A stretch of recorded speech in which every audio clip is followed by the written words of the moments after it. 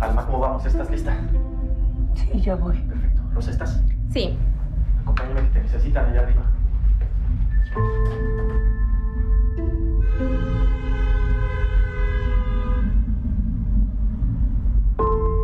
La vejez es una idea. No, María, es una realidad. ¿Sabes por qué es horrible? Por el deterioro, María.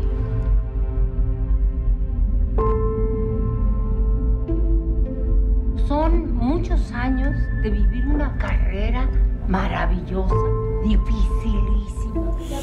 ¡Coraje! Ah, su- Se estrenó ayer, ¿eh? Se estrenó, sí estoy yo, sí. Estábamos así, mire, como el... Oiga, fan- pero nos viene a platicar todo y por qué no debemos perdérnosla. Este, su director, Rubén Rojo. Aplauso. ¿Cómo está Rubén? Oiga, platíquenos qué traza, por qué cuál deterioro. A ¿Qué ver, sucedió?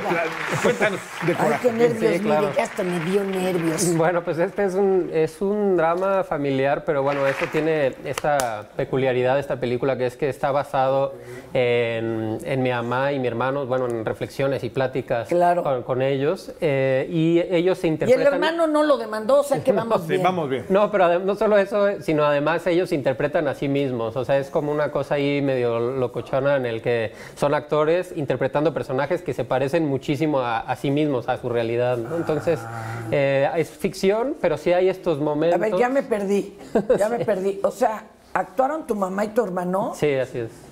Wow, la señora ya se nos adelantó, Sí. pero qué impresión. Sí, no, no, no. Y entonces eh, tiene una cuestión ahí medio de te- medio ¿Cómo le llaman terapéutica. a esto cuando está dentro de, adentro de? Como Es la metafix, meta, La meta, sí, meta, meta realidad. Exacto. Oye, qué bárbaro. Oye, Wow. Oye, a ver, a ver, a ver. ¿Y, y acá cuál es el asunto? O sea, ¿cuál, eh, cuál es el, el- drama, el dilema? Sí, exacto. La- bueno, digamos, la, la trama es de una actriz eh, de 76 años que padece una enfermedad de la retina que se llama degeneración macular. Entonces está perdiendo la vista eh, paulatinamente, pero en la compañía teatral donde trabaja está teniendo ah, conflictos. Entonces ella, para, para, digamos, amarrar un lugar en la compañía, desatiende un poco la cuestión de su salud. Y todo esto coincide con la llegada de su hijo, que después de pasar años de vivir fuera, regresa a su hijo de cincuenta y tantos años, regresa a su casa un poco para buscando cobijo porque está. Oh, pues es, eh, es lo que pasa. este, Sí, ¿cómo le explico? Exacto. Y ella pues ya está en un momento de su vida donde pues ella ya que no es mamá, ¿no? cuiden, Ella- no para andar Pues cuidando. sí, no es como para Pues sí, exacto. Entonces, bueno, es, eh, va un poco de esto y pues la, la relación entre ellos, ¿no? Oye, qué fuerte. Además, cuando sabes que el cuerpo ya no te va a responder, qué lata.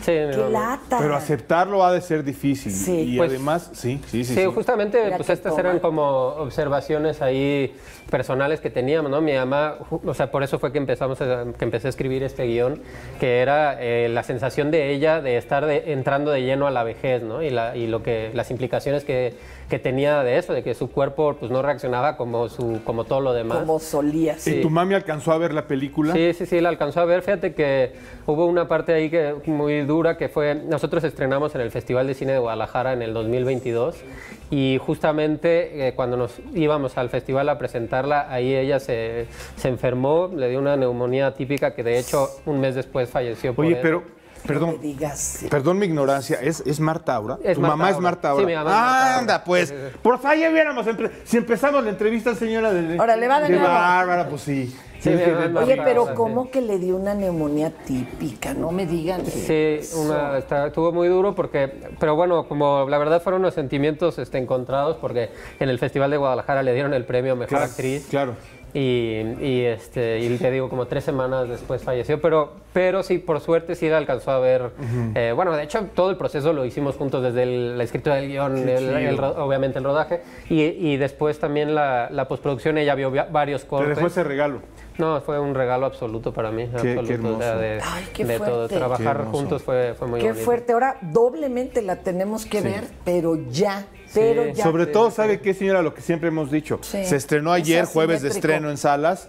Hay que ir esta semana, pero ya. O Sí. sea, Sigue siendo asimétrica, ¿verdad? El trato que les da eh, la- los proyeccionistas de que o pega o, o lo sacan o cómo sí, es. Sí, sí, sí, pues sigue siendo así, o sea, es importantísimo el primer fin de semana por eso, ¿no? Y sobre todo este tipo de películas que tampoco, eh, pues no, no es una película que traemos encima toda la Sí, cuestión la comercial y muchísima comercial, sí, sí, ¿no? publicidad y esto, entonces, pues es importantísimo el boca en boca y, y que el primer fin de semana vaya gente para que lo otro fin de con, semana. con esta película, Marta se llevó su, digamos, su premio, premio. póstumo. Pues el premio este, bueno, el, el de Guadalajara ese se lo llevó, ella todavía eh, vivía, entonces ahí se lo llevó el de Mejor Actriz y estuvo nominada también a, a los Arieles, que fue pues el, el premio más Sí, bonito claro, que nos dieron claro. también ¿Qué nominado. otros premios tiene tu película? Pues este, estuvimos en La algunos- festivaleaste. Sí, estuvimos en festivales, ganamos algunos premios también en un festival en, en Verona, otro en, en Brujas, en Bélgica. Qué bonito. eh, en Estados Unidos también. en Se dan una paseada, no, Sí, sí, sí, estuvo sí. bueno, estuvo buena la Eso sí. Y este...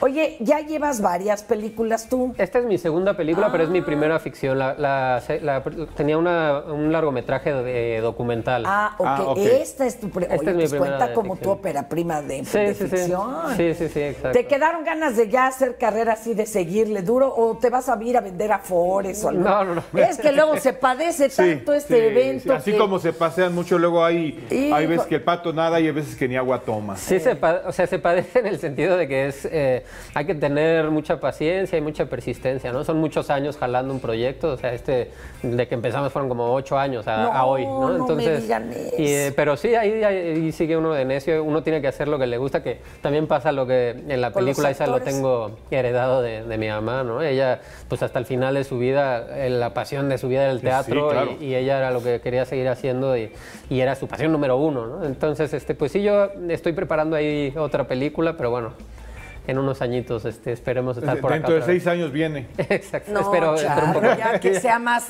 sofacto, que amolada. Entonces, ya desde ayer, o sea, hay que caerle hoy a ver la película que está, ¿está solo en la capirucha o también No, en están, los estados? sí, está en los estados. Coraje, Coraje, búsquenlo para que no nos dé coraje, claro. maestro. Rubén, gracias, gracias. Las redes de la película y las tuyas. Sí, mira, en las redes de, de la distribuidora es Mandarina Cine, ellos están Son poniendo ahí justamente las salas y, y esto. Este también eh, las mías está Rubén Rojo, estoy en Instagram, eh, ahí también ahí voy, estoy haciendo todo lo que puedo de publicidad. Claro. De Caluma Films, ellos también este que son los que llevan toda la parte de prensa, pues también ellos ahí están poniendo. Chido, Entonces, este, chido. Iba a decir Ingón. Ingón. Perdón, también. Qué padre, qué padre. Gracias, Rubén. Y un aplauso póstumo Vayan